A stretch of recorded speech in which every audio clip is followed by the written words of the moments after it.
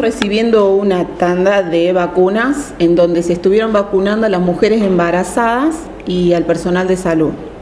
Eh, estamos esperando que llegue una nueva cantidad de dosis que se suponen que es para el día de mañana a Cañada de Gómez y de ahí se hace la distribución. Vamos a buscar nosotros allá.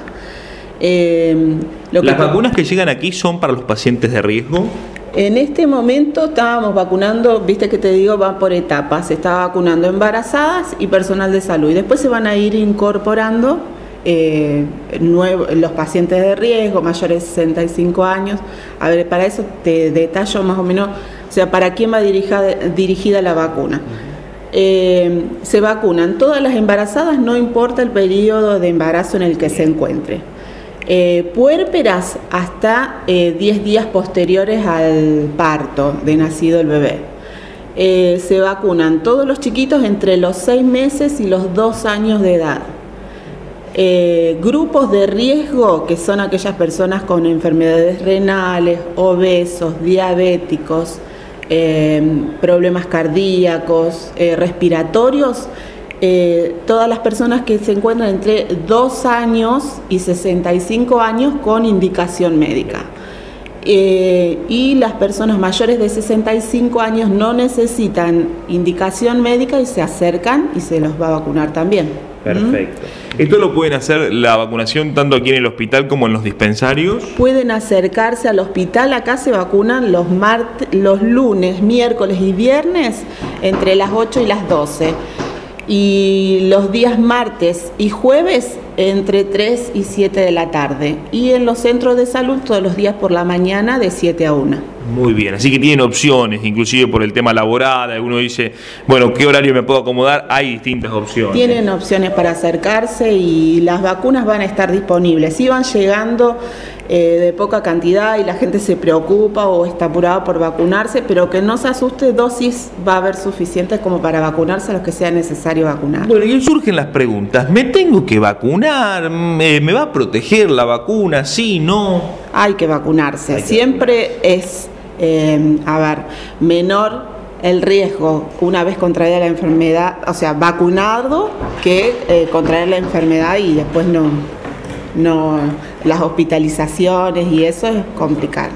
Muy bien. Eh, respecto a lo que tiene que ver con eh, el tema de las contraindicaciones y demás, eh, ¿qué sucede con, a ver, alguna persona que manifiesta que ahora tiene que venir a vacunarse, por ejemplo, y esté con, con síntomas gripales, con fiebre, ¿es recomendable que espere para vacunarse? Esperar, esperar. Si el, ante enfermedades leves no, no está contraindicado, pero si no es conveniente esperar.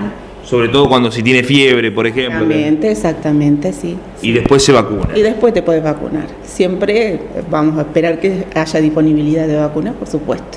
Bien, y inclusive hay tiempo, porque uno dice, bueno, ya va avanzando el invierno, ¿qué hago? Se preocupa por esto de no vacunarse, todavía hay tiempo. Hay tiempo, hay tiempo. Las vacunas se colocan hasta diciembre inclusive, porque recién ahora empieza a circular el virus, o estás con las defensas, o sea, con lo de las vacunas anteriores, así que bueno, eh, no hay problema. Se vacuna hasta diciembre, el virus sigue circulando hasta entonces, entonces no, no hay problema. Estamos todavía a tiempo de vacunarse. ¿Tienen objetivo de campaña? Porque siempre que son eh, vacunaciones a veces hay objetivo, en esta no.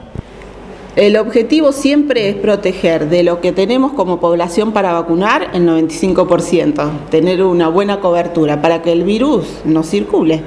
Pero eh, en realidad esta vacuna no se trata de campaña, esta vacuna ya está incorporada en el calendario nacional de vacunación. Perfecto.